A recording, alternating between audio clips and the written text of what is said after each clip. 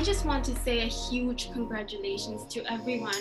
I mean, it's it's been very strange. Finishing my degree by pressing send on Moodle while sat in my pajamas in bed was not really how I envisaged finishing my degree three years ago. Um, my name is Sheila and I'm studying economics. My name is Zain Hussein and I'm studying actuarial science.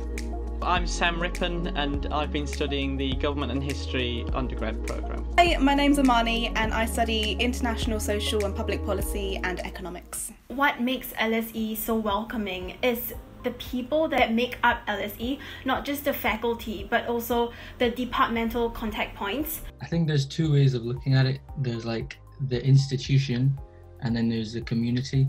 For the last two years, I've been president of the Drama Society, and that's probably taken up most of my time at LSE. I think some people have said I've been doing a, a theatre degree rather than uh, government and history, um, but that's that's where I've spent most of my time meeting people. Joining the African Caribbean Society, I really enjoyed embracing my culture um, and finding so many people who would accept our culture on campus. So I think that was my main highlight, just knowing that I was at a university that embraced so many different cultures. I would say being part of Charity Week in uh, 2017 was amazing.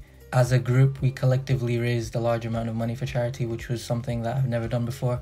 I obviously have been grateful to receive lots of um, lots of good academic support with some very high profile academics in my field. But I think what makes me feel part of LSE and the community there is, is the people I've met through uh, through societies and through um, the courses I've undertaken. The people make LSE, in my opinion.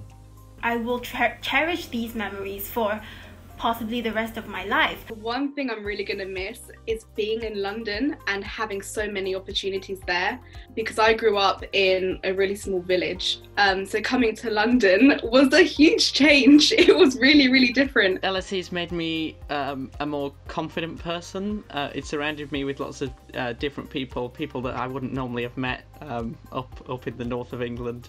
It's made me confident not just in academic terms in like stating opinions, um, but has made me confident in terms of uh, addressing other people, um, in speaking to people from lots of different communities which I'd never uh, met before, um, and I think that's that's what I'll take away mostly in terms of the impact it's had on on me. I've never had to speak in front of a large audience as much as I have at university, which is something which is which was scary at first, but then I started to welcome it which is something that I never thought I'd get out of LSE. Uh, one word I definitely use is um, international, because um, that's one thing I really like about LSE and the people I've met here.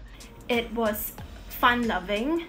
It was academically rigorous. I'd say challenging, I'd say fun, embracing, memorable. To my professors, thank you very much for all the knowledge that you've given us, and uh, hope we can see each other soon after Corona. I would definitely say hey to my academic advisor. Her name's Anne Power and she works in the housing department.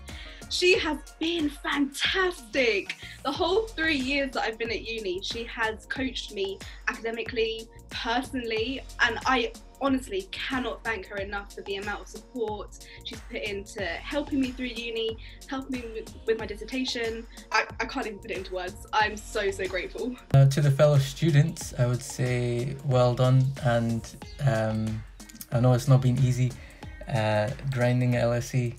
Although we won't have the big graduation ceremony that everybody in my year will attend, it doesn't take away from the fact that most of the three years uh, we had, and most of the degree I was going to go through um, was undertaken successfully. Words of wisdom to people who are graduating would be to remember where you've come from and recognize how hard you've worked and what you've been able to achieve. Three years is a long time, and we all put our heart, our soul into our academics, into making the time in London so fulfilling, into making memories along the way. You know, it is, it is us that are making the change.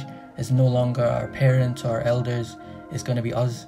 Thank you for making it um, an enjoyable and um, enriching three years, um, whether it's friends or academics. Probably everybody's had a little impact on my time and other people's time here. I'm so proud of everyone. Everyone should be so proud of themselves, and um, no matter what we go into in our next chapter in life, I'm sure everyone will do amazingly well.